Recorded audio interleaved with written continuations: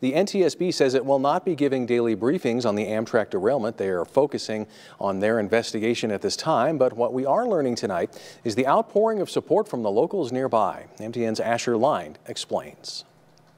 Small town Montana is known for being friendly and cooperative, and that was put on full display when disaster hit in Liberty County. The Amtrak derailment was catastrophic, but Chester and Joplin community members quickly jumped in as they always do when someone needs help. CJ Mann is one of those people and runs the Chester supermarket with his family. He said they brought food and supplies right off their shelves to give to people who needed it and said that is what Chester is all about. Like uh, here is, to me, is like uh, we know everyone. If you live like in a big city, you don't know who live next door to you.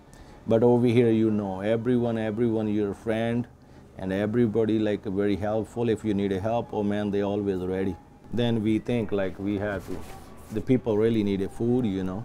So then we take some food from the store and some supply like a medicine or like bandage or that kind of stuff, you know, ice pad, and uh, we took over there and uh, gave to everyone. Liberty County residents have not seen anything like this in a long time, but their response to the incident saved many lives and showed just how tight-knit the Hi-Line communities are. When we pulled up, it was pretty crazy because people were just getting there.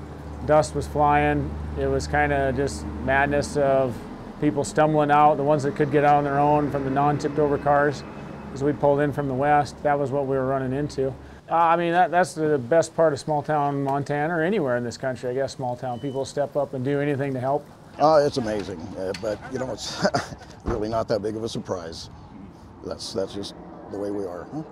Uh, those faces and smiles and through all of it, I mean, they were just, um, they, were, they were impressed at how everybody came together and helped them and just, they were just really appreciative. We know that if it does happen, everybody's here.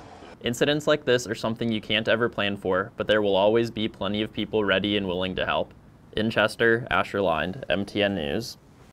Well, for the passengers displaced in Saturday's tragic Amtrak derailment, Montana's Hi-Line might have felt like the middle of nowhere, but as they quickly found out, and the rest of the world is starting to understand, sometimes the best people in the world come from the middle of nowhere. MTN's Tom Wiley explains.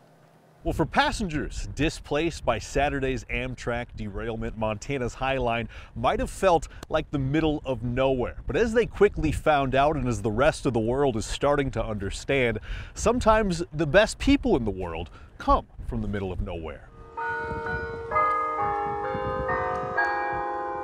Inside the Bethel Lutheran Church in Joplin, Montana, important work is being done. Sometimes we don't get a lot of quilting done, we just do a lot of visiting. Yeah. This group of ladies meets every Tuesday, sharing stories and fellowship and quilting blankets, which they stockpile in the basement of the church. Probably in a year, we, we go between 700 and we have had a thousand. So we probably send out about 500 or better. They usually do eight a day. For what purpose? They don't always know. They just make them. But on Saturday night, as fate would have it, the quilts were needed more than ever when an Amtrak derailment stranded passengers in the middle of the Hi-Line.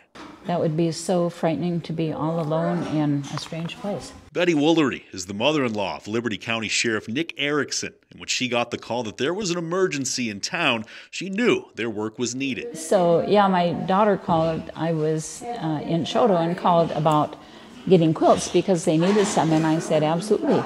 There's a whole pile sitting on a table downstairs. Just go get them. And we were so happy to be able to do that. At the community center in Chester, the quilts were distributed to the passengers. That's kind of fun to, to know that somebody's going to enjoy something that you did.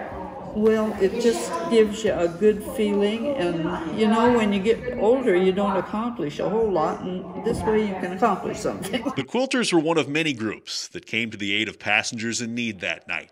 Most were volunteers, some were strangers, but all of them were heroes. I mean, this is Montana. This is neighbors helping neighbors, and um, you know, anybody will see somebody on the side of the road and, and you know, a lot of people stop to help them and it's great. And I think we are God's hands yeah. and feet and heart. Wherever there's a need, wherever we're directed to do it, we do it.